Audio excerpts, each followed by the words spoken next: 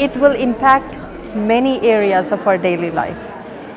The biggest one I think is going to be healthcare because your voice carries information about your state of mental and physical health. And it is a biomarker for many serious diseases which leave signs, which have signs in the voice, so signatures in the voice, much before those signs appear physically strongly enough to be diagnosed. So you can, you can catch some of the very serious diseases very early. And hopefully that will lead to more better treatment outcomes for those diseases. Then the other uh, aspect in which it will impact healthcare is through telemedicine. So I was in Rwanda last year and I learned that there is one doctor for 400,000 people in Rwanda. There are areas in the world that don't have access to healthcare, but there are more cell phones on earth today than there are people. So people, the cell phone services are ex expanding faster than healthcare services, right? So if these people could just call into a machine and if the machine could, if there was something serious going wrong with them, if the machine could just warn them and tell them, go see a doctor, it might save their lives, right? So it's, I'm, I'm hoping this technology will impact healthcare in that way. It's also, voice is also going to be a, a good diagnostic aid for doctors, just like X-ray, for example. It's another way of looking into the human body, right? So with a better diagnostic aid, I'm not going to say it's better than X-ray, but it's going to be in addition to X-ray another diagnostic aid. With an additional diagnostic aid, doctors can diagnose more confidently, perhaps, and, and it may help save lives at the end of the day. So that's one area. Another area is uh, crime law enforcement, security, because your voice is so unique, it can be used as a biometric, as a bio, as, as, a, as uh, something that can be used to verify you, right? So uh, also, as I mentioned in my talk, there are many crimes being committed through voice. And profiling technology can help describe the criminals.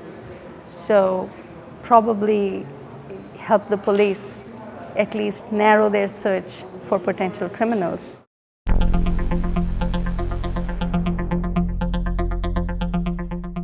It is a new kind of fingerprint. It is very, very unique.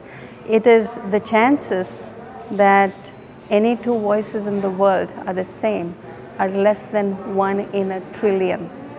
It is so unique to you, and it is, if utilized in the right way, it is as potent a biomarker or as a biometric as your DNA and your blood. And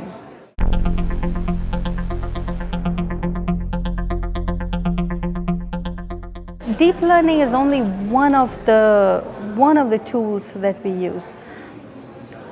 The idea of profiling is not new. I mean, humans have been curious about the human voice since centuries. The earliest record of research on human voice, the kind of reactions it evokes is, you know, how old is that? second century AD. Julius Pollux left some record. So humans have been curious about the human voice. It's not like they've not thought about getting this kind of information from the voice. They just did not have the tools for it. Now we have artificial intelligence, and that's not limited to neural networks. We can design systems that will look into the voice in a way that humans can never look into, right? And so that's why we are able to get all that information out. Neural networks are one, they are the first in a series of what is to come of algorithms that have artificial intelligence. Right? And, and this, this brings us to the question of what is artificial intelligence because if you don't understand that, then it's not, my statement will not be very clear. So let me clarify that if I have your permission for that. So machine learning algorithms that accomplish certain tasks.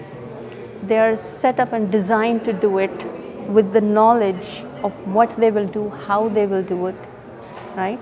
They are designed with very, very deliberate theory behind them, right?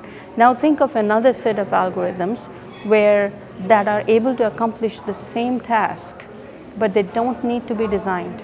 You just give them some data, tell them to do the task and somehow they accomplish that task and you don't even need to know how they do that that that is intelligence that is emerging it's emergent intelligence and that is artificial intelligence that's what neural networks as algorithms that's what they represent but they're only the first generation of AI algorithms. They're going to be better and more powerful ones in the future.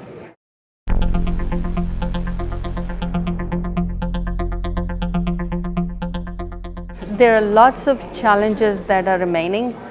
One of the things that we need to understand is the range of variation of the human voice. There are no, there, are no studies or strong studies about it we don't know how much we can, how well we can disguise our voice, how much we can vary our voice.